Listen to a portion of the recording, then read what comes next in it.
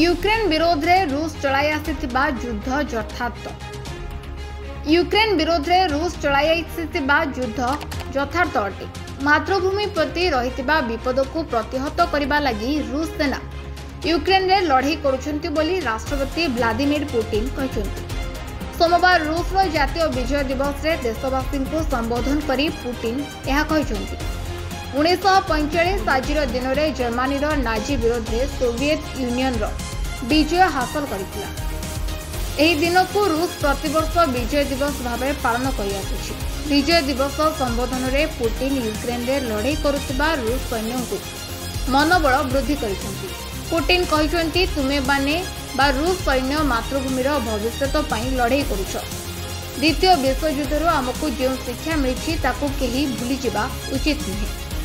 ସେ କହିଛନ୍ତି ଯେ ୟୁକ୍ରେନ୍ର ଏବଂ ପାଶ୍ଚାତ୍ୟ ରାଷ୍ଟ୍ରଗୁଡ଼ିକର ରୁଷ ଉପରେ ଆକ୍ରମଣ ପାଇଁ ଯୋଜନା ଚଳାଇ ଆସିଥିଲେ ରୁଷ ଉପରେ ଆକ୍ରମଣ ପାଇଁ ୟୁକ୍ରେନ୍ରେ ନାଟୋର ଅସ୍ତ୍ରଶସ୍ତ୍ର ମହଜୁଦ ପ୍ରକ୍ରିୟା ଆରମ୍ଭ ହୋଇସାରିଥିଲା। ବିଜୟ ଦିବସରେ ପୁଟିନ କୌଣସି ବଡ଼ ଘୋଷଣା କରିବା ନେଇ। ପାଶ୍ଚାତ୍ୟ ରାଷ୍ଟ୍ରଗୁଡ଼ିକ ପକ୍ଷରୁ ଯେଉଁ ଆକଳନ କରାଯାଉଥିଲା ତାହା ହୋଇନାହିଁ। ବିଜୟ ଦିବସ ଉତ୍ସବ ପାଇଁ ରୁଷର ରେଡ୍ ସ୍କୋୟାରରେ ରୁଷ ସେନାର ବିଶାଳ ପ୍ୟାରେଡ୍ ପ୍ରଦର୍ଶନ ହୋଇଥିଲା। ପ୍ୟାରେଡ୍ରେ ଏଗାର ହଜାର ସୈନିକ ଶହେ ତିରିଶ ସାମରିକ ଯାନ କ୍ଷେପଣାସ୍ତ୍ର ସେମାନଙ୍କ ରଣକୌଶଳ ପ୍ରଦର୍ଶନ କରିଥିଲେ।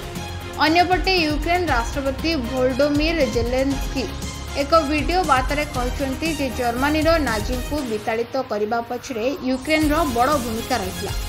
ସୋଭିଏତ ୟୁନିୟନ ଅଂଶ ଭାବେ ୟୁକ୍ରେନ୍ ମଧ୍ୟ ଏହି ବିଜୟର ହକଦାର।